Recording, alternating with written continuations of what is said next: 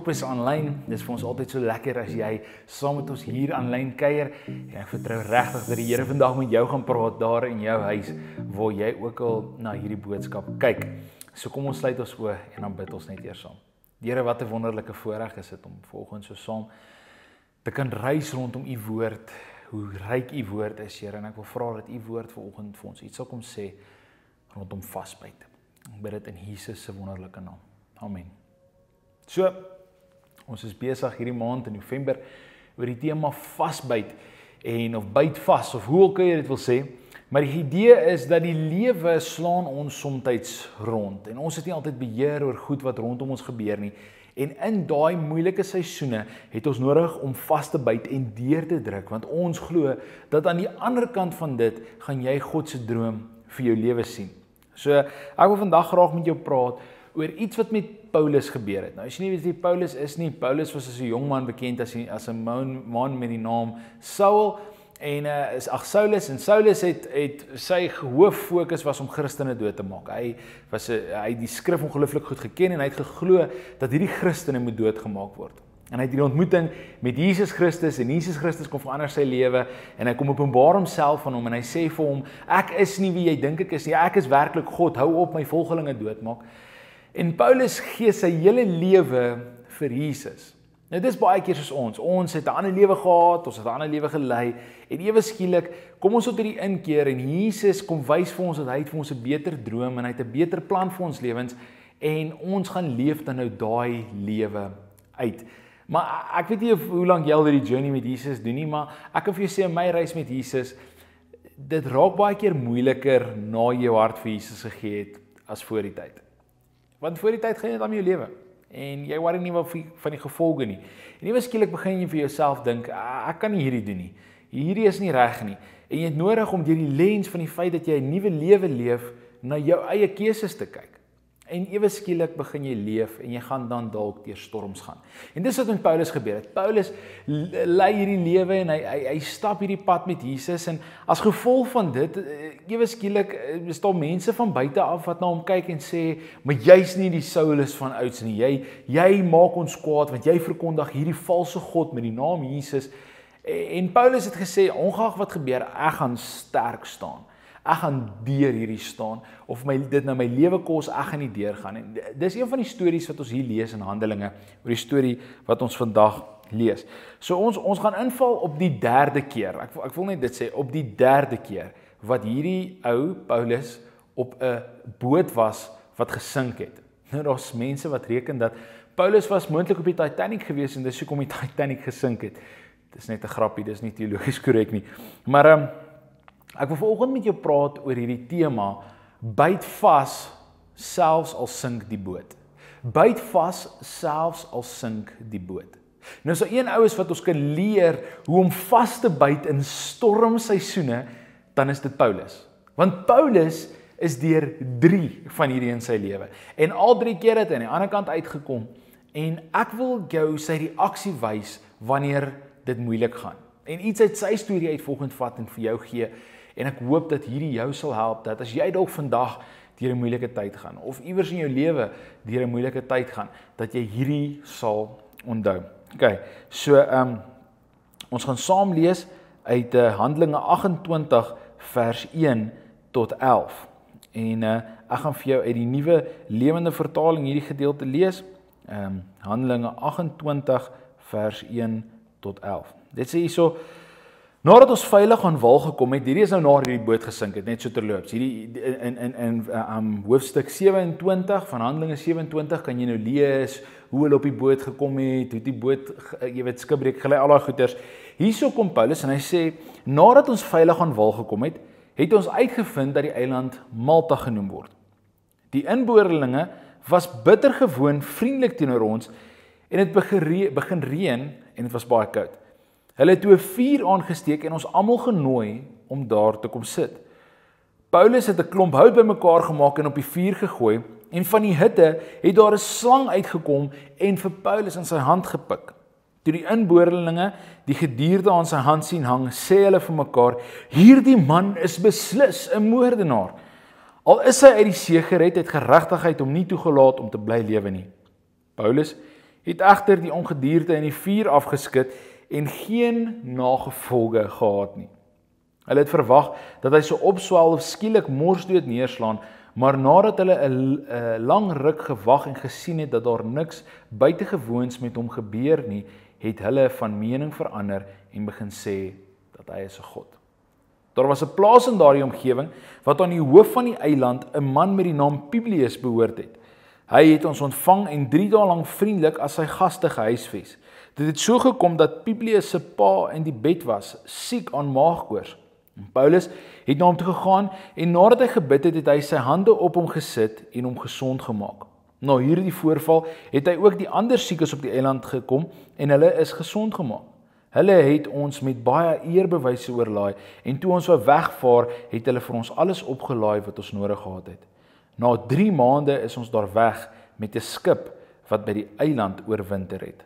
'n Alexandrie Alexandriense skip met die Dioskiri as boegbeeld, wat ook al daai name beteken. So hier's in kort wat hier gebeur. Paulus is op 'n boot vir die derde keer sê ek weer. Hierdie boot lê skibreek. As gevolg van die feit dat skibreek gelei het, swem hulle tot op die kant. Op die kant gekom, begin dit reën. Hulle kry koud, hy gaan sit om 'n vuur. Hy sit nog hout op die vuur en 'n slang pik hom. Hy gaan nie dood van die slang nie. En dan gaan die storie van daar af. Maar ek wil eers die volgende sê. Daar's dalk mense vandag wat na hierdie boodskap praat. As as, ons vandag praat oor oor vasbyt, is daar dalk 'n paar goed wat vir jou die waarheid is. Ons al van julle wat vandag hier so sit en COVID is dit wat jy voel jy net deur moet vasbyt. Dalk is dit gesondheid, familie wat ook siek is, jy is dalk siek, jy ken dalk mense wat siek is of jy herstel nog na nadat jy siek was met COVID. Dit kan enige ander siekte wees. Kan kanker wees. Ek meen daar's daar soveel goed wat vandag so relevant is en in mense se lewens is wat hulle deurgaan maar maar maar COVID het 'n ander klomp goed ook kom doen. Dit het mense in depressie laat val. Dalk is jy een van daai mense vandag wat op 'n plek kom wat jy sê ek ek voel ek kan nie meer lewe nie as gevolg van wat ek deurgegaan het. Hierdie was vir my traumaties geweest. Ek ek voel ek ek maak dit net net ek weet nie eers hoe ek gaan vasbyt nie. Dalk so van julle wat 'n besigheid begin het in COVID en en net voor COVID en toe tref COVID en nou weet jy nie wat se kant toe nie. Maar dalk is daar van julle wat voor COVID of selfs nou na ons deur hierdie hele lockdown storie was dalk goed met jou gebeur. Jou beter helfte het dalk weggeloop met iemand anders. Jou in die rug gesteek. Dalk is dit finansiële probleme en jy weet nie meer wat se kant toe nie. Ek wil vandag vir jou sê byt vas. Daar is hoop. Sy naam is Jesus. En Paulus het dit verstaan en dit is hoekom Paulus deur drie verskillende skipbreuke kon gaan en aan die ander kant elke keer staande kon bly staan as gevolg van die feit dat Jesus saam met hom in dit was. Hy het geweet, al gaan ek nou dood, weet ek dat God is nog steeds in beheer. So Paulus swem hier van die ding af en kom maar op die eiland. Hy sal reeds nat en hier begin dit reën. Saam met reën kom wind natuurlik. Nou ek weet nie hoe onlangs het jy geswem en uitgeklim en dan begin die wind waai nie. Dis aaklag, dis nie lekker nie. Dis nie lekker om koud te kry nie. Maar iets interessant vir my is die mense op die eiland was buitengewoon vriendelik. Ek lees hierdie En ek dink by myself, ek hoop dat die die kerk, ek bid dat die kerk 'n plek sal wees dat wanneer die storms waai en mense beleef skibreek buite die kerk, dat hulle sal weet as hulle hier kom, is hier 'n klomp buitengewone vriendelike mense, ongeag of hulle op 'n skibreek was, want ons almal het nou en dan 'n skibreek, dat hulle sal inkom en dat ons vir hulle sal wees soos hierdie mense van Malta wat sê ons wil vir julle 'n vuur maak om julle warm te maak. So dis die eerste ding. En hier pik hierdie slang vir Paulus en ek wil nou nie te veel oor dit sê nie, maar partykeer wanneer ons skibreek gelei het, dan knip, dan byt mense ons. Al al is ons down and out, dan byt mense ons. En hulle sê goed vir ons. Hoe vandag vir jou vra skraai goed net af. Soos Paulus daai slang afgeskit het, skud dit net af. Moenie toelaat dat daai gif na jou kop toe gaan en in jou lyf inkom nie. Skud dit af in die naam van Jesus. Skud dit af. Daai goed kan nie vir jou sê wie jy is nie. Paulus het dit verstaan. En ewe skielik sê hulle hoor hierso Paulus, die hoof van hierdie eiland is siek. Ons het jou hulp nodig. En Paulus nou net hierdie skipbreek, hy het nou net hierdie skipbreek deurgemaak. Hy's nie op die beste plek in sy lewe nie. Maar daar gaan hy. En omdat die Here saam met hom is en omdat hy weet hy's gefokus en maak nie saak wat sy omstandighede vir hom sê nie, is hy 'n man wat gefokus is. En hy gaan na hierdie ou se huis toe. Hierdie eilandhoof en hy gaan bid vir hom en hy word gesond. So die eerste ding vandag wat ek vir jou wil sê is ons almal gaan skibreek lê. Maar die tweede ding wat ek vir jou wil sê is as jy deur jou skibreek kan kom en jy byt vas deur jou skibreek, is daar ander mense wat van Jesus gaan hoor en dit wat Jesus in jou lewe gedoen het as gevolg van die feit dat jy vasgebyt het. So as jy dalk vandag op 'n plek is wat jy voel ek wil opgee, wil ek jou bemoedig vandag. Byt vas, want as jy hier deur kan druk, is daar mense wat se lewens gaan verander omdat jy vasgebyt het. En ek wil net vir jou sê, jy jy jy byt nie vas op jou eie krag nie.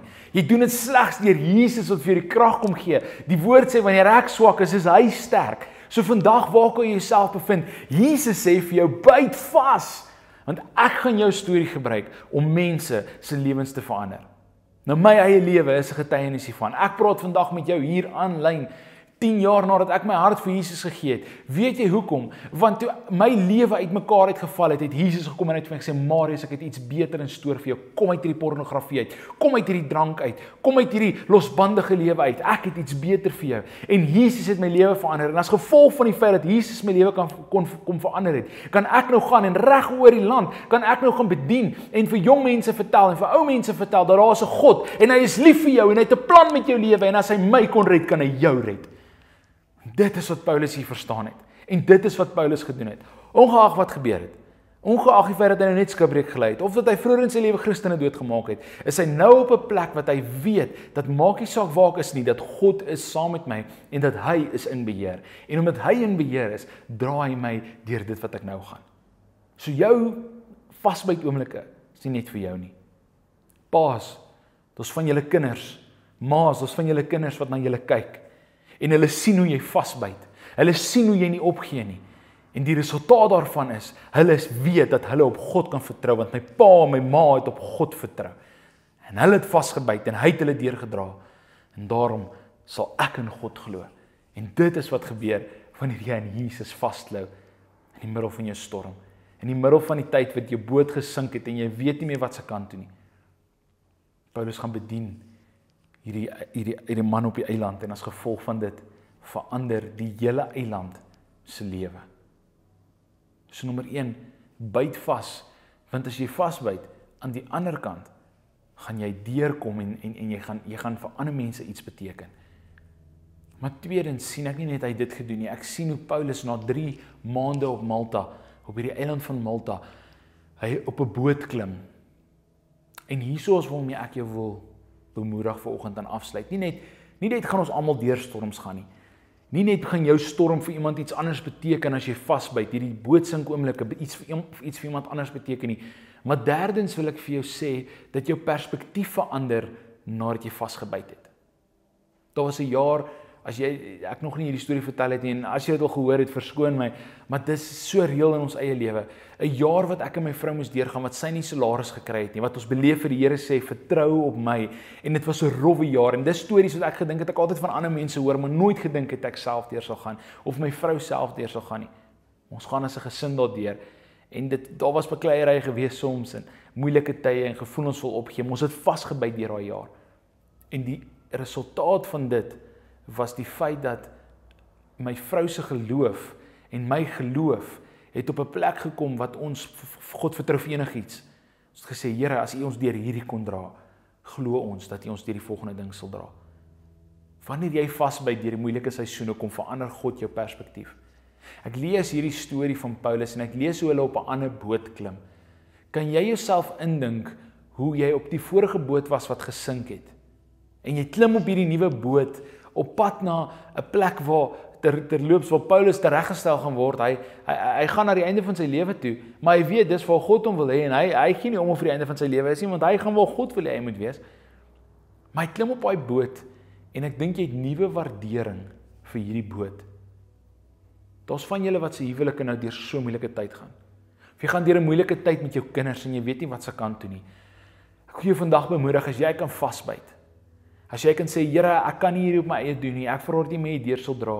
Die direkte resultaat daarvan aan die ander kant gaan wees, jy gaan terugkyk oor jou familie en jy gaan meer dankbaar vir jou familie wees as nou. Jy gaan meer dankbaar vir jou vrou of vir jou man wees, vir jou salaris, vir jou gesondheid as jy kan vasbyt. Want dit is wat Paulus ons hier wys. Hy sê ek gee nie om wat met my gebeur nie. Ek byt vas want ek weet dat Jesus is saam met my. Al sink die boot vir die derde keer, al byt 'n slang my op my hand, al moet ek vir mense wat ek nog nooit ontmoet het nie gaan bid sodat hulle gesond kan word en dan op 'n boot klim om om tereggestel te word. Dit alles sal ek deurgaan want ek weet Jesus is by my. So ek wil jou vandag bemoedig by die huis. Ek wil jou encourage met hierdie woorde. As Jesus by jou is, sal jy kan vasbyt. Maar op jou eie is daar geen manier wat jy gaan kan vasbyt nie. Ja, ek wil graag vandag saam met jou bid. Here, daar's mense vandag wat na hierdie boodskap luister wat dalk op 'n goeie plek is. Ek dank U vir dit. Maar Here, hoe meer ek met mense praat in die afgelope tyd, hoe meer besef ek mense gaan deur moeilike tye. Mense voel hulle wil opgee. Ons sien reg oor Suid-Afrika hoe mense nou ewe skielik begin selfmoord pleeg. En links en regs gaan dit net dit gaan rof.